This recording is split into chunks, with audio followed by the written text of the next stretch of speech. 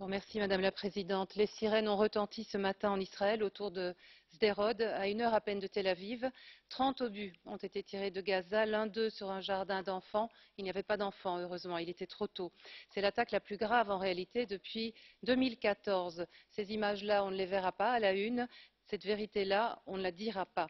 Le Hamas poursuit donc sa stratégie d'ultraviolence. C'est lui qui est le premier responsable de la tragédie du peuple de Gaza. Depuis douze ans, pour eux, ce dénuement économique, sanitaire, culturel, une population qui est prise en tenaille entre le blocus israélo-égyptien et le Hamas, qui persiste, qui revendique comme combattants cinquante des soixante deux personnes mortes le 14 mai, qui poursuit les bombardements et annonce une nouvelle étape encore de la marche dite du retour le mardi 5 juin, alors même qu'en ce moment des tractations devraient avoir lieu en coulisses, parrainées par le Qatar et par l'Égypte pour une paix froide, une trêve où certains préalables intangibles jusqu'ici devraient être gelés. Je conclus, Madame la Présidente.